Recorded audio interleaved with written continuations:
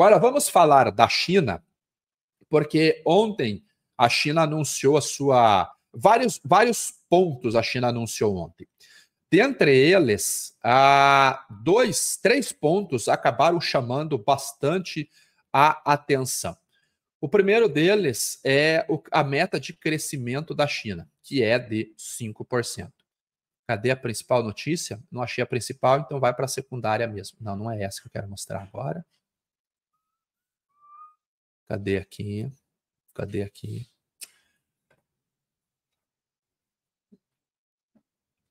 Vamos trazer essa daqui.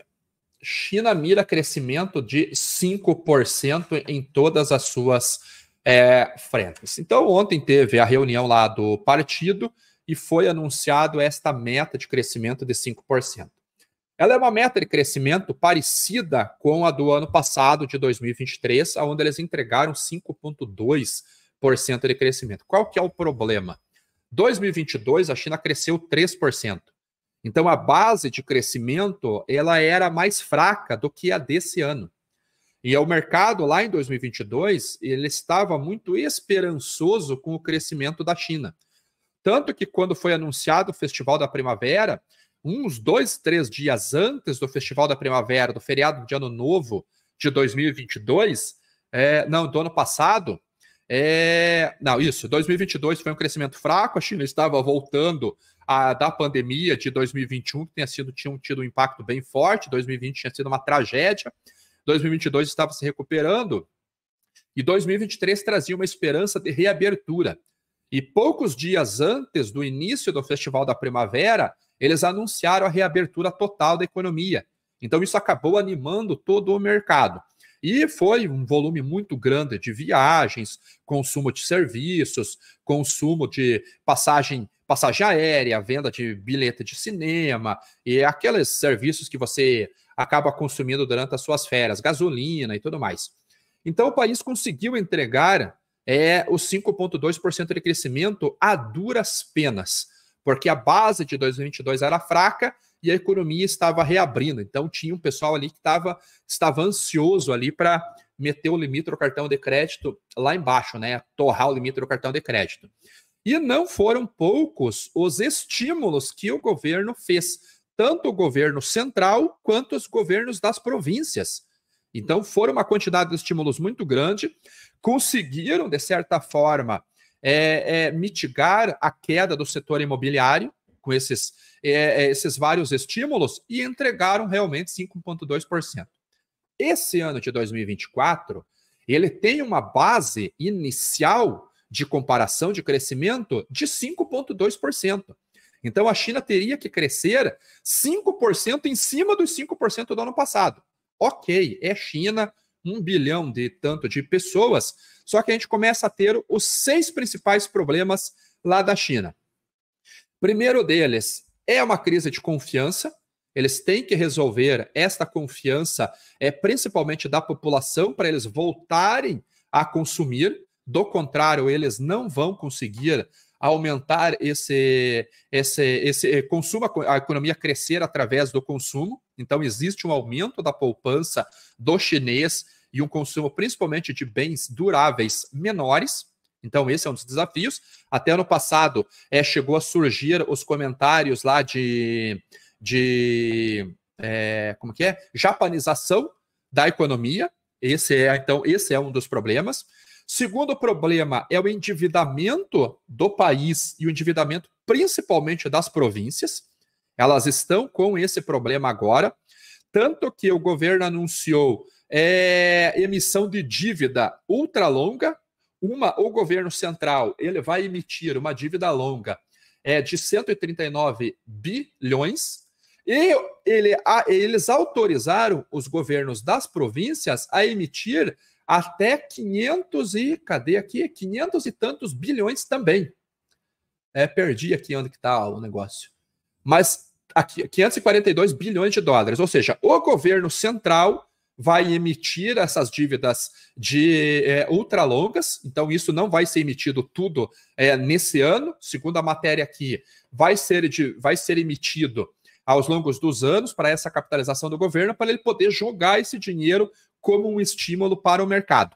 Então, é, é, é uma das maneiras. E autoriza também os governos das províncias a fazer uma emissão é, três vezes maior, também para poder ter alguma questão de saneamento ali e poder colocar alguns dos seus estímulos na economia. Então, a gente já falou de confiança, dívida. Tem um outro problema que é a demografia. A, demografia. A, a população chinesa ela está reduzindo. E o governo chinês, ele, ele ancorou uma par, grande parte do seu crescimento na mão de obra. Tanto que, na verdade, o que causou o início, que foi o, o estopim do crescimento chinês, foi a quantidade de mão de obra. Então, lá na década de 90, quando é, principalmente Ronald Reagan começou a olhar para a China como um polo industrial e os Estados Unidos investiu é, tanto grana como transferência de tecnologia quanto estímulo para as empresas irem para lá produzir, era a mão de obra que o mercado estava de olho, e uma mão de obra barata. E isso já não existe mais há alguns anos. A mão de obra chinesa já não é das mais baratas do mundo, já é mais cara do que a brasileira, por exemplo. Eles são mais eficientes do que nós na produção. Mesmo assim, é um volume de pessoas muito grande. Mas a população já começou a encolher. Já a população já, já caiu em torno de 0,4, se não me engano, no último relatório populacional lá. O IBGE deles lá mostrou isso daí. Então, o outro problema é a demografia. Então, a gente tem problema de confiança, problema de dívida, problema de demografia. O outro problema que eles têm é um excesso de capacidade de produção. Eles têm que resolver esse excesso de capacidade produtiva. E aqui vem um outro problema. Uma, um dos pontos que o governo vai apoiar é uma redução, está aqui na, na Reuters, um dos outros problemas que ele vai apoiar é a retirada é, a, de todas as restrições ao investimento estrangeiro no setor industrial. E vai reformular os planos de desenvolvimento para aí a parte de tecnologia, né? Computação quântica, Big Data e inteligência artificial. Se hoje você já tem um excesso de capacidade industrial e isso acaba afetando o quinto problema, que são os preços, que é a deflação lá na China. Então, como que é esta parte aqui, esse levantamento das restrições ao investimento estrangeiro no setor industrial, que vai conseguir conter o excesso de capacidade industrial, que é o que está afetando a deflação. Porque aqui nós vamos para o outro problema. Uma das metas da China agora para a inflação desse ano é 3%. E os caras estão com deflação de 0,8%. Como que eles vão reverter uma deflação de 0,8%, chegando ao nível de inflação de 3%? Esse é um outro problema que eles têm. E outra, é, se nós olhamos daí o crescimento nominal da China, não é 5%. Eles querem crescer mais de 8%. Eles querem crescer 8,8% crescimento nominal. Porque aí você tem que descontar a inflação para ter os 5% de crescimento real. Então, parece que é um, um, um problema é, muito difícil de ser lidado. Por isso que o mercado não está comprando tanto esse crescimento chinês. É possível? É claro que é, mas é muito difícil. Então, crescimento nominal perto de 9%, melhorar, causar essa inflação para poder ter que significaria um aumento do consumo, recuperação da confiança, abrir o mercado é, para investimento estrangeiro, reduzir a capacidade, a capacidade excessiva da indústria, resolver o problema do endividamento, e aí tem um outro fator que é o sexto problema, que é o Donald Trump. Se o Trump ganha a eleição lá em novembro, e a gente já começa a ter as primárias agora, e ontem o, o, o Trump teve uma decisão favorável da justiça norte-americana, ou seja, ele vai poder concorrer, e ele tem uma grande chance de levar esse pleito é, lá esse ano. Ele está capitalizando muito bem a situação econômica norte-americana, a situação das manifestações dos agricultores, a insatisfação dos produtores rurais lá nos Estados Unidos. Então, ele está conseguindo capitalizar isso. E o Trump já anunciou que se ele vencer, a conversa com a China vai ser outra. Acabou a moleza. E aí a gente já começa a olhar para o trade war iniciado no finalzinho de 2017, a guerra comercial com a China. Então já há no radar novas sanções contra empresas chinesas, que hoje já está em torno de 60.